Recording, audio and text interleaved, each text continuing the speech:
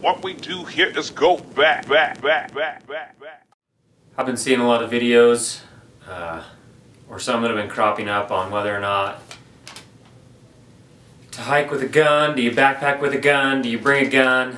Uh, I thought I would throw my hat in the ring, so to speak, and let you know why I do it sometimes, uh, when I would not do it, uh, benefits of doing it, so to speak. Uh, the first reason that I do that is I, I hike with a gun when I'm alone with my family and hiking alone with my wife and kids. I have done that with an infant before.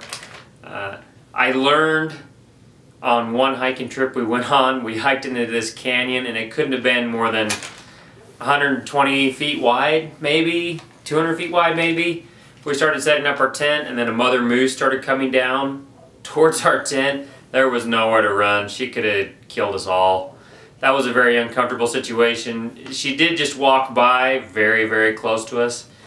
I did not like that situation and that was an instance in which I wish I had a gun, but I didn't have one. Uh, so, number one, hiking alone with my wife and kids. That was one. That is one opportunity when I would bring a gun. Second time that I bring a gun is when I'm hunting with my friends. Last year, I went hunting with a friend to go get some elk.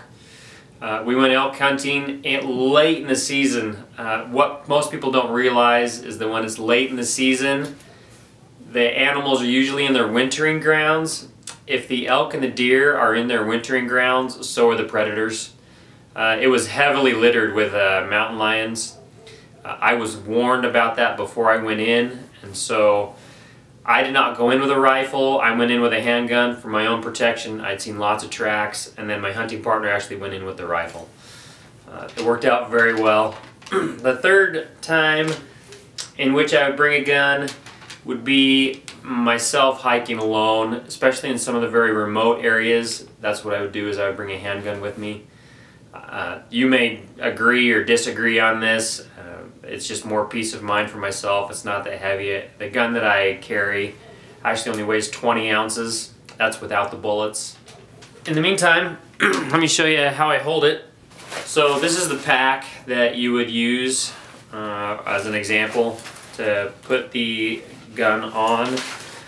This is how I carry the gun. You take your backpack. Most backpacks have this chest strap. This is key to making it work. Uh, what I use is I use a Blackhawk holster.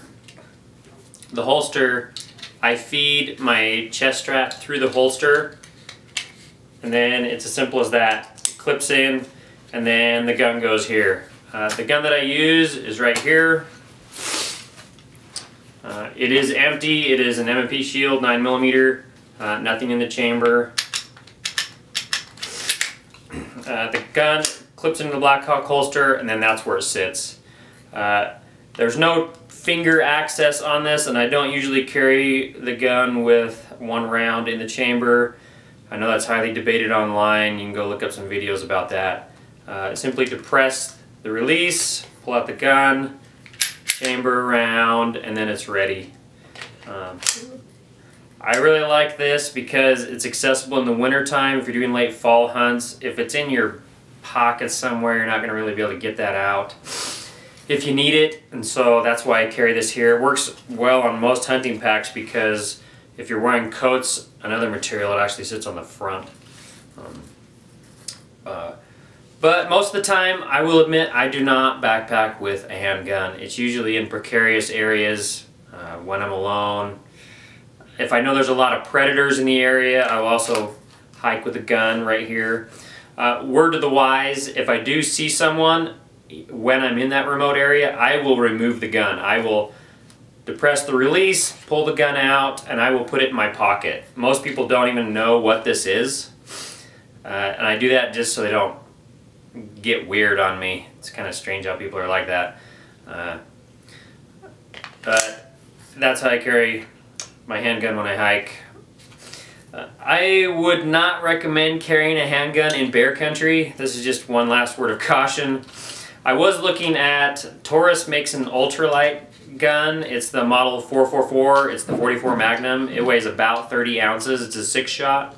Uh, I was going to buy that And then the gun dealer that I was working with actually told me not to. Uh, the reason being is that they are well aware that bear spray works better. Uh, I do recommend that you buy bear spray and use it on bears instead of using guns. Uh, the bear spray works very similar. Uh, you can clip it into your chest strap here and when it's clipped here you can simply just turn it and then pull the release and shoot the bear with it. Uh, I have personally been through an entire can of bear spray before, um, two stray dogs, uh, so I didn't have to shoot the dogs, someone owned them. Uh, didn't do any damage to the dogs, the dogs went their merry way and I went my merry way uh, and then we went on with life. I actually saw one of those dogs later uh, and he was healthy as can be. Uh, so don't don't misinterpret if you want to use a gun for bears then that's your choice. I just don't recommend doing that.